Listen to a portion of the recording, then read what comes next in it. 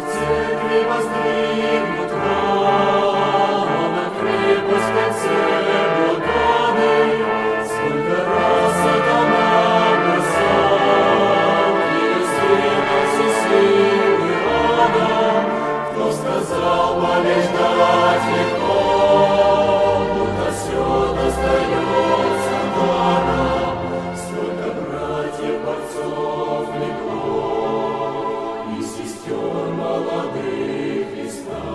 Дорогие друзья, приветствуем вас. Мы встретились э, с Алексеем и Екатериной в Петербурге, и это прекрасный повод для того, чтобы э, задать им вопросы по ситуации, связанной с Домом молитвы в Архангельске. А, первый вопрос такой. А, многим известно, что в начале декабря приостановка произошла демонтажных работ по сносу части дома – какая причина, какое судебное решение этому способствовало? Что произошло? Вот когда они 5 ноября приступили ломать дом, да, последовали и многие аварии. Это котел, да? Авария? Да. Обращ... Обратились мы в суд за разъяснением, потому что мы видели, что приставы со своей стороны и подрядчик просто выходят за все рамки и судебного решения, и каких-то строительных законов, ну вообще просто человеческих норм. И поэтому мы обратились в суд, чтобы суд дал разъяснение, как вообще должно исполняться то решение, которое он вынес. Ну, мы думали, что попадем на прием к той судье, которая выносила решение. Она заболела, и э, наше дело рассматривал судья-мужчина, который ну, отнесся не просто поверхностно, формально, а действительно вникнул во всю ситуацию. То есть были представлены э, отчеты одной строительной организации, которая зафиксировала очень много нарушений, да, зафиксировала появление новых трещин, на стенах, зафиксировала нарушение ну, самой технологии, как все это происходит. Можно уточнение, Алексей? Э, трещины появились в той части дома, которая не подлежит сносу, да? да. То есть это уже прямой очевидный ущерб да. э, жилью, строению, которое не подлежит сносу. Да, трещины появились после того, как они КАМАЗом решили вырывать э, гаражные ворота. Ну, то есть вообще решение суда, как они говорят, оно последовательное да, и четкое к исполнению. То есть там порядок установлен. То есть первое это там снять водостоки, а, пункт 2 а, перенести отопительную систему. Ну, в принципе, что и логично, и что правомерно с позиции Гражданского строительного кодекса. Но отопительная система до сего времени находится где и находилась, а все остальное начали просто крушить. Что привело, естественно, и к авариям, и к заморозке водоснабжения, и в том числе разморозке отопительной системы, вскипанию котла. И все это было представлено как раз на суд – и судья вынес определение о приостановлении исполнительных производств до момента полного разрешения вопроса по разъяснению решения суда. После этого, ну, скорее всего, его отстранили от ведения этого дела. Э, к тому моменту, когда вопрос подошел уже к самому разъяснению, выздоровела Э, судья, которая занималась нашим вопросом, но и мы поняли, если бы мы с самого начала попали к ней, то она с нами бы не церемонилась. То есть она не стала ничего разъяснять, она просто отказала нам в разъяснении решения суда. Хотя, э, по сути, она, ну, я как понимаю, обязана была это сделать, потому что просто даже решение, оно выносилось в отношении физических лиц. Да? а приступили к э, данной работе юридические лица за счет федерального бюджета. К моменту э, как бы приостановки демонтажных работ, какой ущерб нанесен был строению? Самое, наверное, э, ущербное это то, что они бездумно начали ослабевать э, несущие конструкции. Да? То есть они начали выбивать кирпич. То есть и как-то они начали это снизу, потом вверх, э, переходя. И мы очень сильно переживали, что они просто возьмут и бездумно перережут нам армопояс. Но слава богу, суд успел вынести решение о приостановлении, и они не, до, не успели дойти до армопояса. Армопояс в целости? Да, армопояс в целостности. А углы? Углы тоже сохранены пока что, да. Снесли кровлю в этой части. Ну, слава богу, вот приезжали братья с Дагестана и временную кровлю сделали, чтобы осадки не попадали, снег не попадал. За этот период, вот э, с начала декабря, какие судебные процессы, ну, может быть, э, обозначить, э, скажем так, более-менее важные, принципиальные прошли, и на какой сейчас стадии вся эта судебная процедура? Но после этого мы были у разных судей. Это и Беляева, а потом Долгирева, Адоева, Кривуля. Это все э, судьи женщины. И они к нам относились уже предвзято. Это сразу было видно и на самих судебных процессах. Да. Ну вот э, за декабрь у нас прошло где-то около восьми судебных заседаний. За январь сейчас уже прошло три судебных заседания. Основные были ну, самый такой, э, где э, ну, явно так видно была и предвзятость, и, ну, я не знаю, ну, нарушение каких-то моральных норм, не то что даже судейских, да, а и просто человеческих. Это когда мы подали э, заявление о переносе исполнительных действий на весенне-летний период в связи с тем, что э, судебные приставы и в более теплое время ну, вместе со своим подрядчиком творили непонятно что, что приводило к авариям, да, а тем более сейчас, когда зима, когда морозы уже установились, мы понимаем, что ну, будет что-то происходить для нас страшное, да, поэтому мы обратились в судебный орган, предоставили им снова а, акты строительной организации, которая э, следила, как происходили, э, происходил сам демонтаж, представили ну, и другие доказательства, в том числе и то, что писала сама пристав. То есть сама пристав, она засвидетельствовала, да, что по сути, они нарушили исполнение решения суда тем, что э, трубы, котел оказались в холодных помещениях, а какие-то просто даже на улице. То есть это она письменно как бы за свидетельство. Но суд не услышал нас, и судья, несмотря на то, что я их просто убедительно просил, да, говорю, вот как вы собираетесь дальше выполнять работу? Ну, объясните суду. Представьте график работы, что в какой последовательности вы сейчас хотите делать, да, то есть как вы собираетесь демонтировать и перенести котел, котел в другое место. Они просто промолчали, ничего не сказали. Ну, видно, для суда это и не нужно было.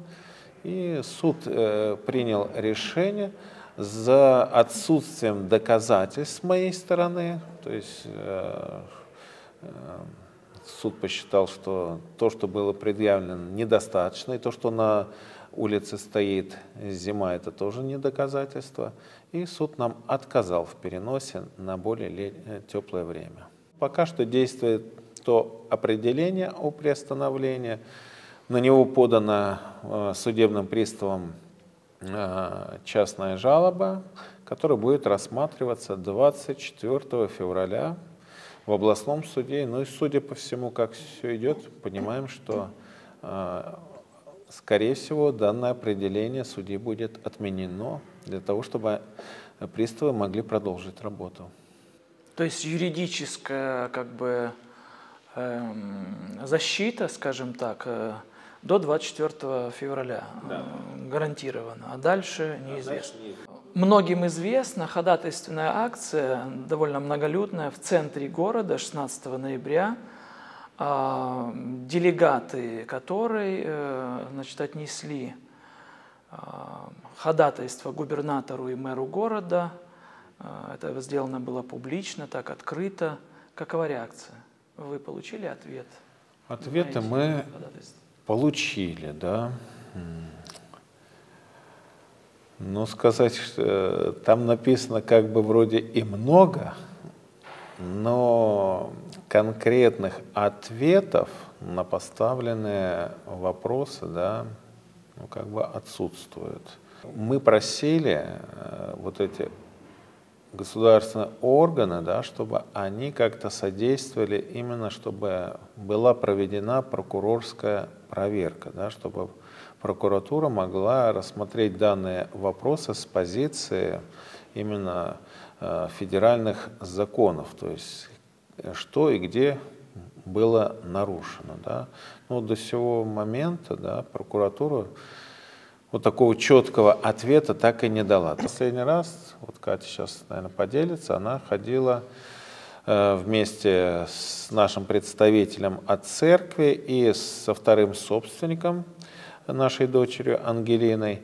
Они ходили к полномочному представителю президента в Архангельской области. То есть это уже второй визит.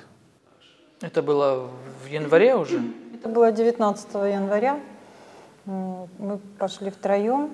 Брат, который ответственен за ходатайственное служение, я и вторая наша дочь Ангелина, которая является вторым собственником этого дома, но не является ни ответчиком, ни должником по исполнительному производству. В иске к ней отказано. То есть, по сути, э, разрушается частная собственность без э, соответствующего решения суда по ней. Я говорила как э, э, жилец этого частного дома, как представитель несовершеннолетних детей, э, жильцов этого дома, по которым также нет решения соответствующего суда. И в таком случае жилище неприкосновенно. Если даже есть исполнительное производство и требуется демонтаж, но если часть дома занимают не ответчики по делу, то судебные приставы-исполнители не имеют права совершать каких-либо действий. И мы вот эту позицию пытались донести до представителя президента. Затем э, Ангелина как собственник также заявила о нарушении ее конституционных прав на неприкосновенность жилища, так как она вообще не является ответчиком. Она нейтральное лицо. И меня очень удивил его ответ. Он сказал, что у вас была возможность добровольно исполнить решение суда. В таком случае вы могли бы выполнить это красиво, качественно, так, как вам хочется. А так как совершается принудительный демонтаж, то как могут, как хотят, так и работают.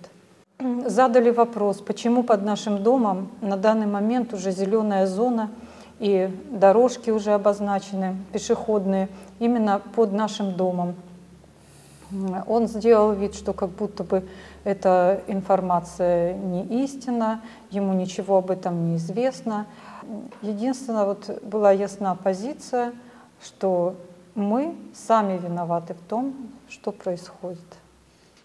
А вот за этот период короткий, э, ну имеется в виду декабрь, январь, э, какие движения происходили там э, вокруг по строительству, по, может быть, выкупу? Вот что-то происходит там? Строительство этого дома да. сзади продолжается? Да, строительство да, идет полным ходом. Уже все вот эти домики, которые на нашей стороне деревянные, все они уже снесены. То есть это за короткий период да. произошло? Да. Буквально за два дня их уже снесли. То есть я думаю, что вот судя как власть реагирует, как прокуратура на все это реагирует, как суды ведут себя, что ну, такое ощущение, как будто вот это дело какое-то по отношению к нам заказное, потому что просто уди удивительно, как, ну, как, как все происходит. Да? Сейчас снова и снова как бы анализируем вот с самого начала и то, что вот сейчас происходит, да, то есть получаем различные ответы, да, вот один из ответов пришел э, э, с мэрии города Архангельск, где они подтверждают, что действительно территория гаражей, она входит во вторую зону природоохранной. И они сами прямо дают ответ, что данная территория да, находится по земельному законодательству под ограничением. Да. То есть отчуждение этой земли в частную собственность э, незаконно, невозможно. Да. И все равно э, они сознательно это, на это пошли, это сделали. Потому что если бы они это не сделали, то э, наши бы претензии да, э, ну, какие-то вопросы мы бы решали уже с государственным органом, да, там Министерство имущественных отношений, или сейчас все перешло там в мэрию, да, а по сути они, как Пилат, ушли в сторону, умыли руки и столкнули нас с физическими лицами. За этот период, э, имеется в виду э, последние два месяца, а какую помощь вы э, ощущали, видели со стороны церквей, со стороны братства? Э, как посещали вас? Э, какое внимание оказывали? Помощь была разносторонняя.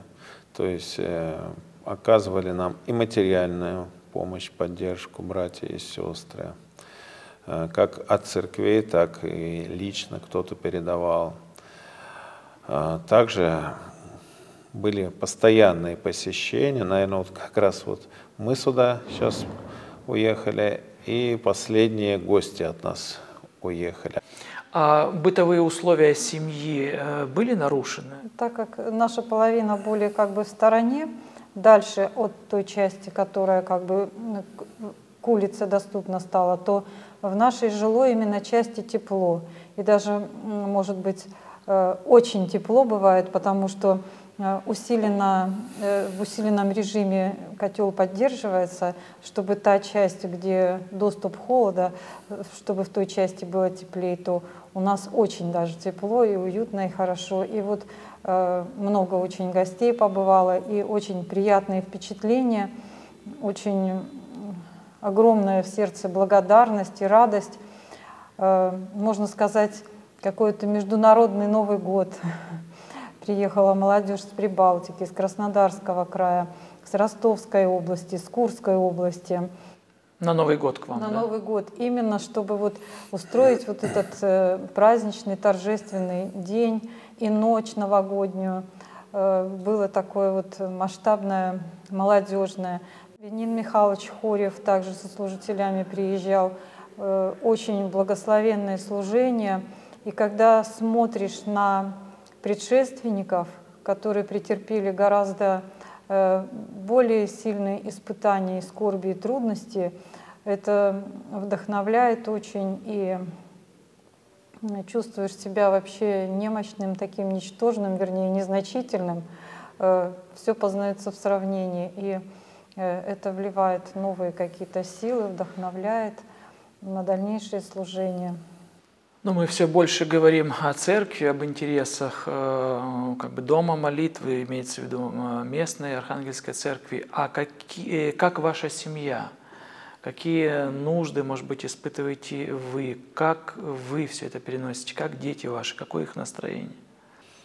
Ну, наверное, самое большое переживание для детей – это то, что внимание родителей уменьшилось по отношению к ним, да, потому что то какие-то судебные процессы, то надо готовиться, а, то надо уделить внимание гостям, и где-то дети остаются так в стороне, хотя ну, стараемся, но не всегда на все с этой стороны хватает сил. С другой стороны, наверное, для них это бесценный, наверное, уникальный опыт. Они, они очевидцы, свидетели и участники э, э, всей этой духовной брани. Э, это, наверное, тоже для них да. полезно.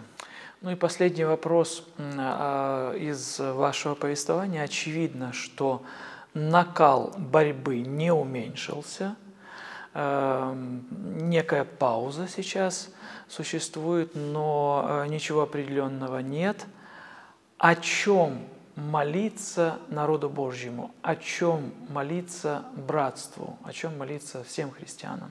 В этот понедельник, 25 января, ожидается суд по уголовному делу, где нашего брата, единоверца, э, обвиняют по ложному свидетельству. Якобы он причинил э, вред здоровью одному из судебных приставов. Да? Хотя и на видео, и э, все, в том числе и со стороны других приставов, не, нет ни одного свидетельства, подтверждающего, что данный брат мог причинить э, какой-то ущерб здоровью приставу. Да? Поэтому хотелось бы так, чтобы и ну, церкви усиленно молились по этому вопросу, да, чтобы Бог заступился за нашего брата, да, чтобы вот по этому ложному обвинению ну, ему не присудили там ну, определенный срок доказательства, видеодоказательства этого деяния не существует. То есть на, ви на видео ясно видно, что он просто даже физически не мог э, причинить какой-то вред судебному приставу, потому что братья для того, чтобы ну, даже, наверное, искушения не было что-то сделать э, приставом, они все стояли, держась вот так друг друга да, то есть и кому-то что-то причинить руками не было, не представлялось даже возможности. А судебный пристав его обвиняет, что якобы он схватил брат его за руку, выкрутил эту руку, растянул ему мышцы, да, и причинил очень сильную физическую боль. То есть хотелось об, об этом попросить молиться. Ну и также у нас в феврале предстоят суды как раз вот по этим дням, по которым будет рассматриваться и уголовный вопрос. И у нас также 1 февраля будет судебное заседание о признании действий судебного пристава незаконным тоже по этим дням. Вы нормально пережили морозы, да? Мы знаем, там у вас приличные. Да, были, были большие морозы, ну, слава богу, да пережили их благополучно. Благодарим.